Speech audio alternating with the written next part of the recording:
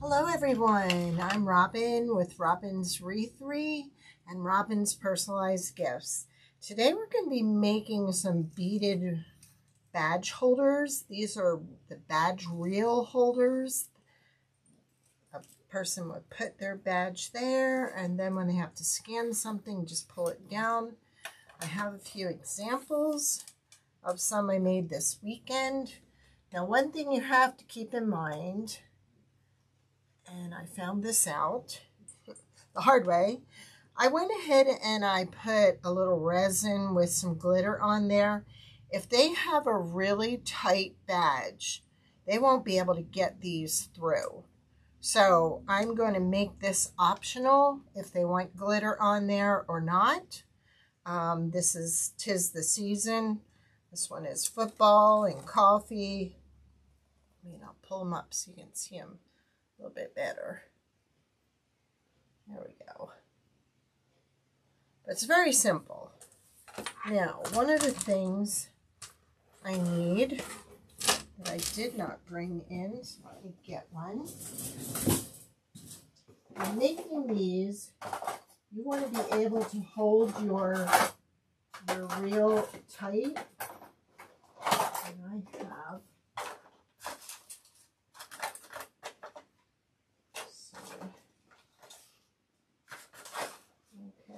in that drawer. Let me just look. That drawer.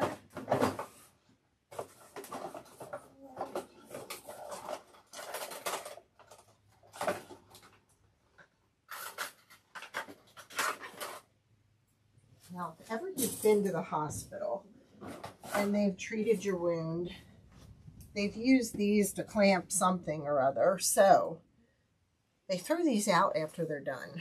so if you don't have any and you're at the hospital, you might want to grab one of these.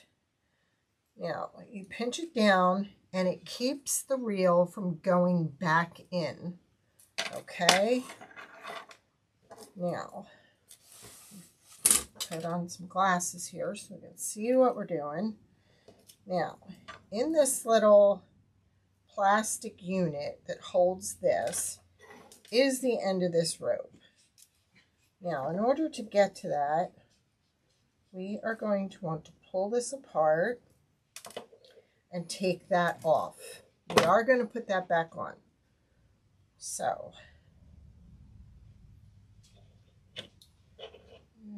let's see if I can get this down in there. Just using my pin to kind of push the knot through so I can clip it. Now I'm doing this so I can get this little plastic unit off because I'll need this to be able to put the beads on. So there's three we're working with right here. Fall is proof that change is beautiful. That's a little fall rainbow. Got some pumpkins in there and some flowers. So we are going to find some beads to kind of match that. Now,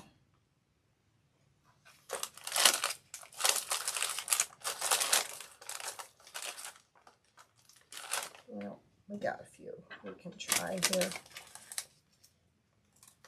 I'm going to go ahead with this brown one. I think that really goes nice with it. Then I'm going to go ahead and find a smaller one to go after that. And I just had them in my hand. There we go. Nope, that's not orange enough. And when I order my beads, I always indicate on the outside of the packet how much I paid for the bead. That way, when I go to sell this, I know how much I have in the pieces that went with it. I like this because this is kind of like a faded peach. And it kind of matches the flower in there. And then I like to put these spacers in between. And I think, ooh, I think this is, nope, that's about the same color. So I usually try to put about three or four beads on here. So I'm thinking I want to add one of these in between. And I think I'm just going to go with a diamond one in between. So I'm going to start with my biggest bead and I'm going to thread that on. Then I'm going to go ahead and thread on my little diamond spacer. And then I'm going to put this on. Now, I may go ahead and put one more below. So let me see what I got. I have more beads coming and they actually are different colors. I have beads coming for fall, beads coming for Christmas. Let's see what one of these looks like. You could go with a black one. Let's see what else we've got.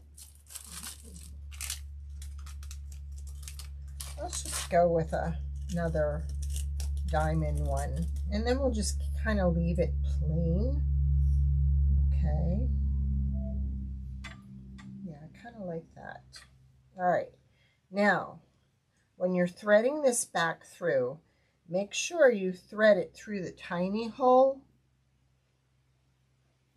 and not through your big hole.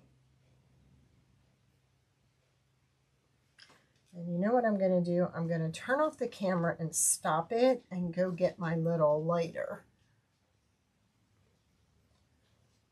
Okay. Now what I'm going to do with this lighter is I'm going to go ahead and light the edge of it and then kind of make sure that I can get it flat. There we go. And then that'll go through that hole. Actually, it's a little wider than I expected it to be. So I'm just going to trim at it. There we go. I'm going to put it through the hole. But I don't want it going through this big hole. I want it coming through the side. If you put it through that big hole at the bottom, what's going to happen is it's not going to hold your knot.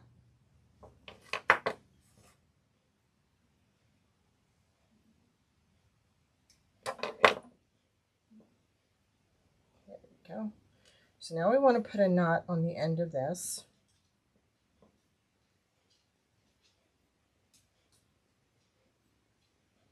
And then we want to go ahead and close that knot and we're going to trim what's below. And I'm going to go ahead and pull that through. So see, it's back in its place. It's very tight. Now we're going to take this and put it back where it was. And we're going to go ahead and bend it together again. Now I'm going to start out that way. And you want it going side to side. Now I think I have to get it closed just a little bit more in order to do that, but not too much. So I'm using two needle nose pliers here.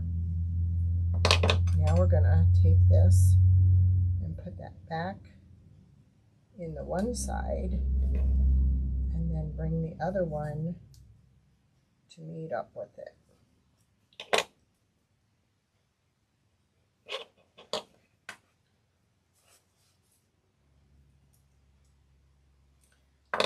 through the hole that we didn't want it to go through. So we're going to just work at it a little bit at a time. Okay, doesn't want to cooperate.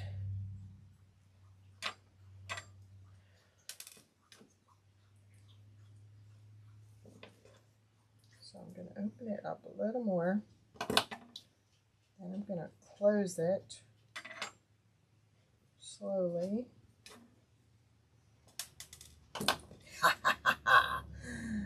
oh, don't you just love it? Now, come on now, you got to cooperate. Almost. There we go. Now we can close it. What I need is a regular pair of needle nose, not these curved ones that I have in my left hand. There we go. Now we've got that right back in place. Now with this, I'm going to hold it gently once I release that. Now you could use other things to clamp it. You could use one of these. I think even one of these would work. But I have these where they kind of lock in place. Okay, so we've got everything we need right there. So we're just going to snap this. And now we're going to take this piece and we're going to attach it. And in attaching it, I'm going to use some of this JB Weld Extreme, Super Weld Extreme. And I'm going to actually put the glue on the badge reel.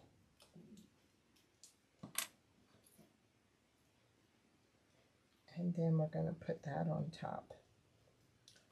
Now my aim is, when I'm putting this on, is to have it this side up so I can make sure that I'm getting my wording where I want it. And then I will lift it and make sure that I'm straight. Oh, that's right on. Ooh, we like that. And then I'm going to just sit that off to the side and let that set up.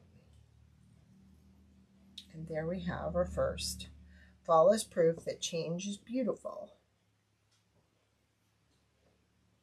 Very simple, very elegant. So let's go on to another one. Now this one says, my favorite teacher, my favorite turkeys call me teacher. I thought that was really a cute one. It's got some little turkeys on there. So we're making this for a teacher. So again, we're going to pull this out. Now let's not use that and show you. Yep, yep, it's not going to work with the Dollar Tree one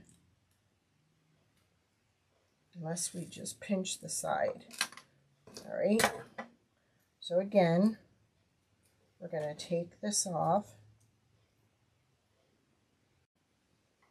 Okay, we had a little problem with the camera, but we're good now. All right, so we went ahead and we put the turkey on, the red bead. Now we're going to put the yellow one on.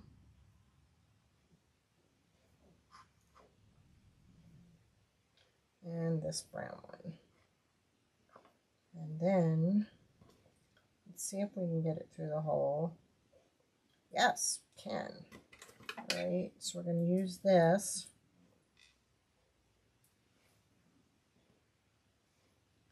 to Push it through that canal.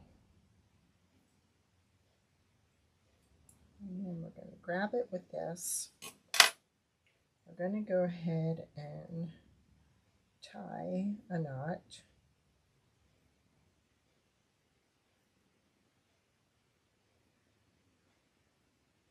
Pull it tight and then kind of just shoot that on the end because it kind of melts the pieces on the bottom. Okay, now we're going to go ahead and put our little tag holder in place. So for that, we need two.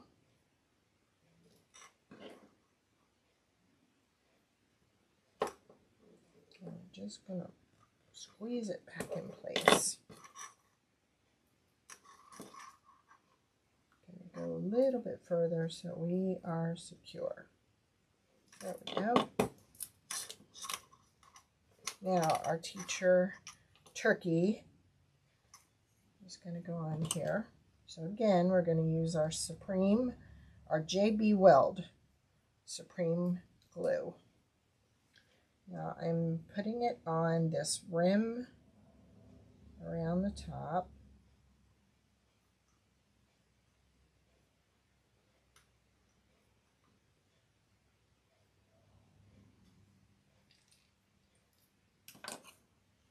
Set this on it. And we're going to, whoops, check the back. And see if we're straight. And then let the glue set up. And we've got our turkey teacher badge holder. Now, like I said, some people will add a little bit of resin and some glitter in here. Make sure the teacher's badge can accommodate this slipping through. Most of them are very tight. There's usually like a little rectangle on the top of their badge that this will slip through. Now you could, well, you can't really.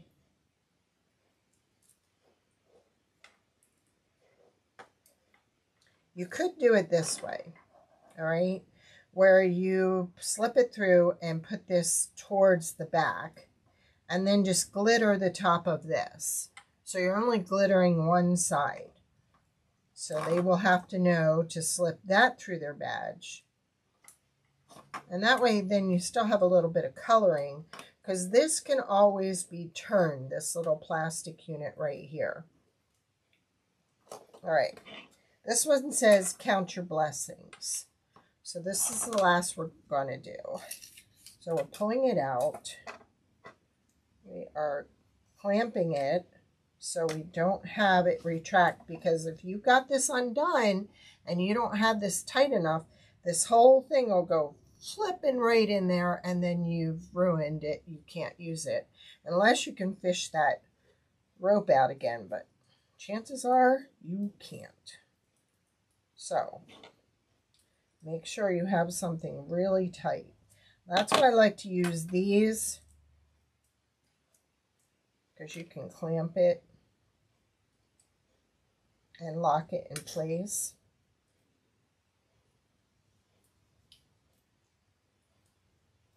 Okay, we've got a stubborn one here. So,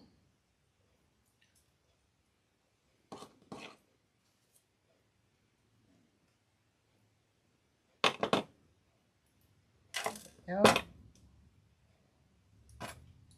Fish out your little rope. Now remember, don't pull it through the, the bottom hole and knot it because it will just fall right back into place. It will not stay. And sometimes you got to work at it a little bit to get that little knot through.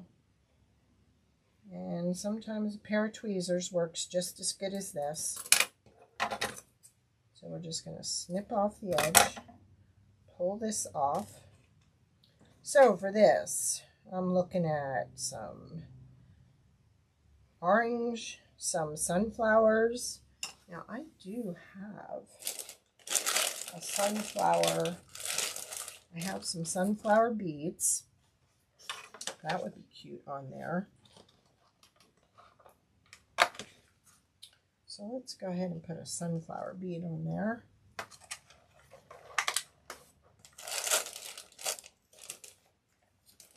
Let's go ahead and find a nice green one. Put on there. Not sure on that one. let's see what we've got.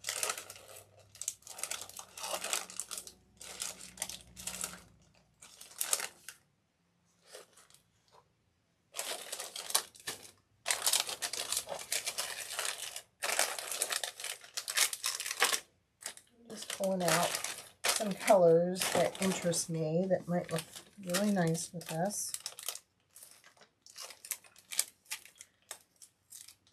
I'm thinking maybe that orange would go good with this.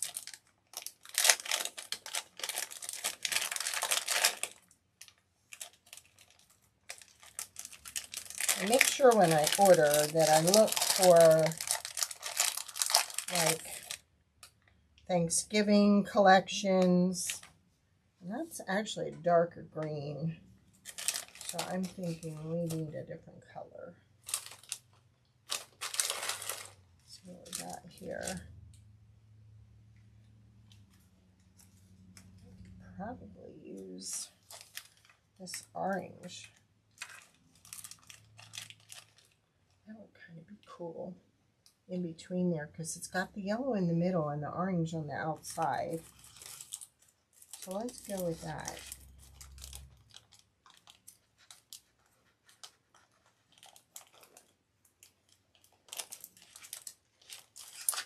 Just leave that there.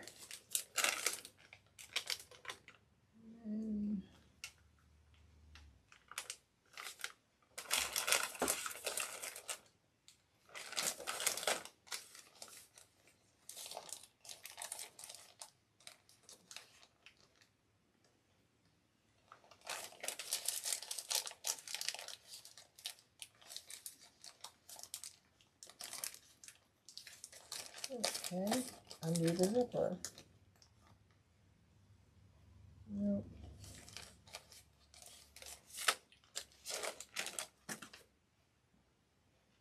Let's just go ahead and use that.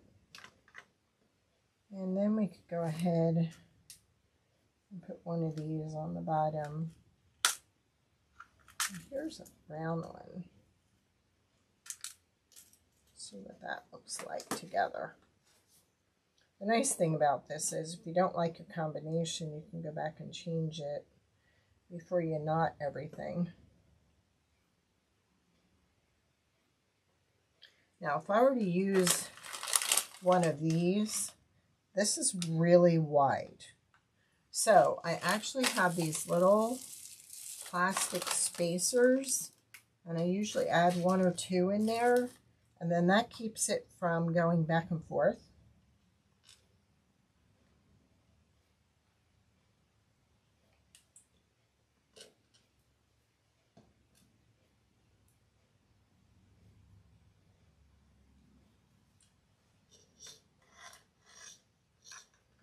Kind of different. Let's go with that one. So we're going back through the little hole, which we can't get through, so we're going to trim it. Let's see if we can get in now. Yep. Now see it went through that bottom hole, and I don't want it through that bottom hole. So I'm going to try and retrieve it. Put our knot.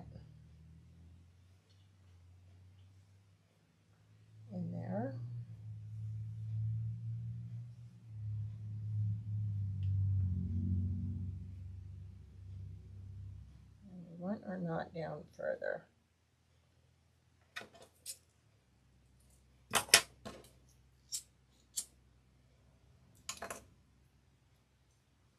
Now I'm going to put in just a little bit closer. so you can see better. Then we're going to go ahead and pull that through. Make sure it's tight. And then we're going to go ahead and release. Very different, huh? That looks pretty. A lot of people love sunflowers.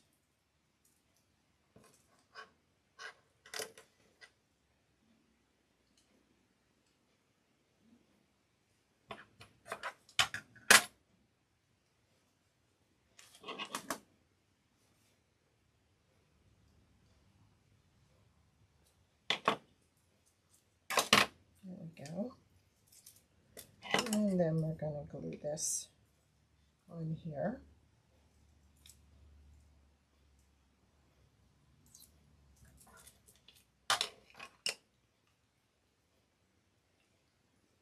So our weld JB Weld Extreme.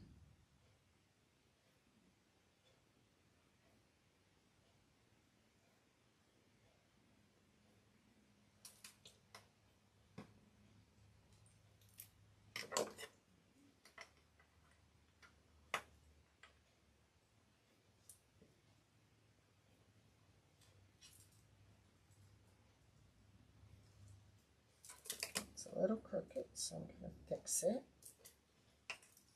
Yep, don't you even think about it.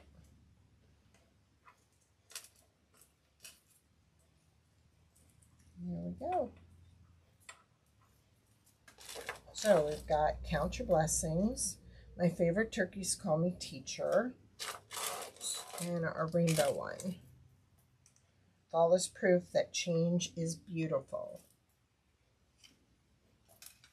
Now, usually I sell just my plain beaded rail, plain ones without the beads. Okay, that would be, you know, just this and the reel with the tag. I usually sell those for $9.95. If they have beads, it can be anywhere from $11.95 to $12.95 because you have to consider the cost of your beads in there. Okay. So if you have any questions, please be sure to leave them in the comments. And I will see you on Wednesday. Thank you.